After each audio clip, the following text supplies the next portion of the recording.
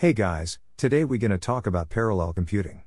First of all, what is parallel computing?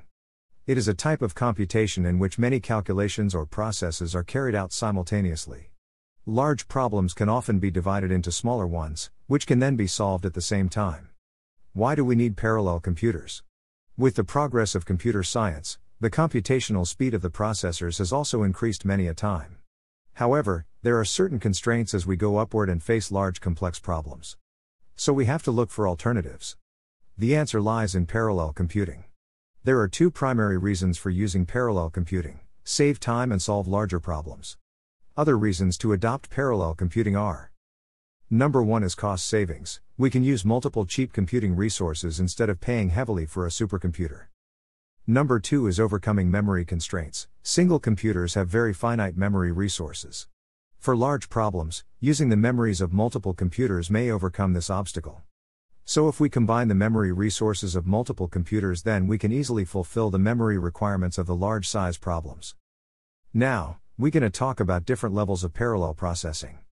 There are different level of parallel processing. Number 1 is instruction level. It refers to the situation where different instructions of a program are executed by different processing elements. Most processors have several execution units and can execute several instructions, usually machine level, at the same time. Good compilers can reorder instructions to maximize instruction throughput. In earlier computer which is based upon reduced instruction set computer or RISC, pipelining was pretty common for parallel computation. After RISC, superscalar processors were developed which execute multiple instruction in one clock cycle.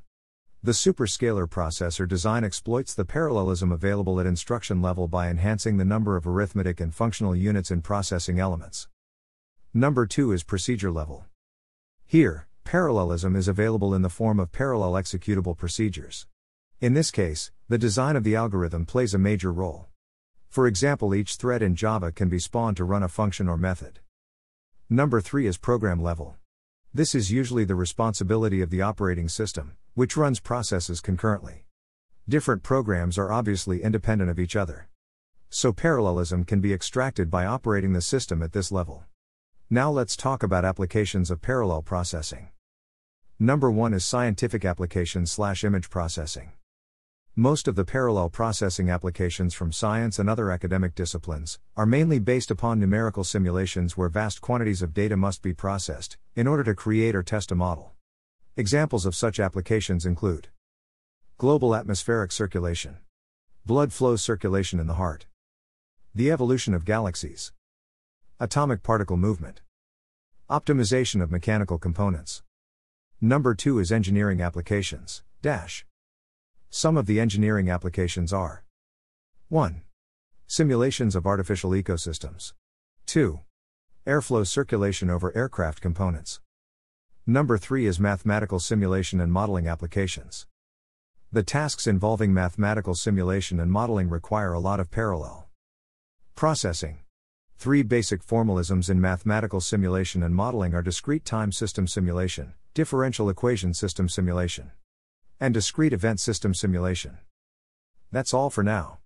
Thank you for watching this video. If you like this video, give it thumbs up. Share it with your friends and don't forget to subscribe to the channel.